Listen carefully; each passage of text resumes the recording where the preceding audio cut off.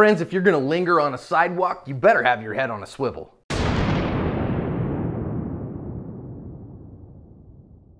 Hi everyone, welcome to today's lesson here at Active Self Protection. I'm your host, John Correia. Today we actually have three lessons, one from Houston, Texas, one from Buenos Aires, Argentina, and one from Los Angeles, California. Firearms Legal Protection just started a 100% free monthly newsletter to bring quality, accurate information about legal self-defense to good, sane, sober, moral, prudent people like you. Go sign up for free, no hassle help for your self defense at the link in the description and thank them for sponsoring today's lesson. Here's our victim in the first one. You can just see him kind of waiting for a ride or something on his phone, messing around. These guys just roll up. Guy gets out with a gun in his hand. You can see it there in his right hand. We got a gunman and a grab man. They're going to grab his phone out of his hand, grab his other stuff out of his hand. They're going to start rifling through his pockets and and grabbing all this stuff. Okay, man, you want my wallet? Here you go, whatever. They're like, yo, man, I want your backpack too. Give it up, and you know, give me all the stuff. You got anything else that I want? Whatever. Guy's like, okay, man, here's my backpack, whatever. They're gonna take off to the car. He runs off the other way. That's where that one ends. Now here's our second victim, hanging out outside, waiting for a ride, watching his phone, messing around on that. These guys are going to jump out in a very similar manner. Now, again, this is uh, halfway across the world, but same thing. People are people, right? Two grab man, gunman here. They're going to grab his phone. They didn't grab his other stuff, and they run off. He's going to not run away. Instead, he's going to watch where they go and just walk across the street. Third one, they had followed this guy from the store. He had been shopping in this district and he apparently had a nice Rolex on. And this is a known motif in this neighborhood. They then follow him to a remote area. They tackle him. They beat him up. They're going to take his Rolex off his wrist, which obviously he doesn't want to have happen here. They're going to also grab his jewelry off of his neck. And uh, it's apparently having a harder time coming off than what they wanted. So they're going to come off for that, grab his stuff and run off. And we get to think about lessons from these from all over the world world.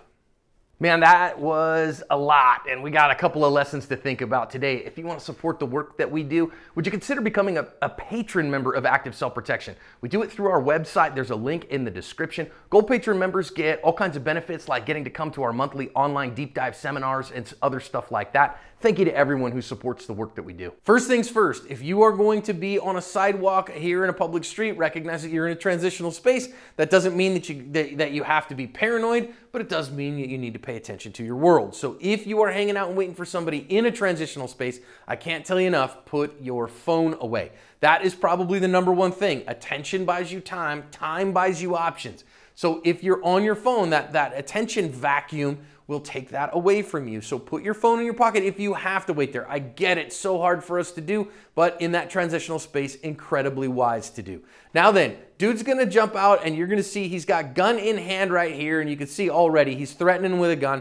At this point, there's probably nothing that this guy's gonna do. Even if he is a firearms carrier or whatever, we don't draw from the drop. So chances are good. His best bet in this particular case, because he's allowed himself to get in this situation, is to just comply. So a lot of people can't win a fight because they don't know they're in one until they're in the middle of it or they don't see it coming so they can't prepare themselves. If he had been paying attention, they jump out of the car, he'd known, ah, that guy, that's starting to worry me. As soon as he sees the car doors open up, he might have been able to do something. But in this particular case, I don't think he could because specifically of how they attacked him. I do also think he does something very good here, and that is he gets out of the danger zone. The second he finds himself an escape from these guys, he does so. Notice he runs left off screen while they run right to their car.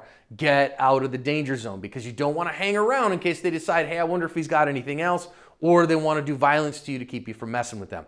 Now, same thing here. He's, he's on his phone, all those kinds of things. Not a whole lot he is going to do in this particular case because he doesn't have any opportunity to do so. Now, that said, I think in this case, this looks like a, a home environment. This looks like an apartment complex or something like that. My answer here is prevention, if at all possible, rather than I'm going to sit here at the sidewalk and wait for you. I'm going to sit somewhere that is secure and wait for you.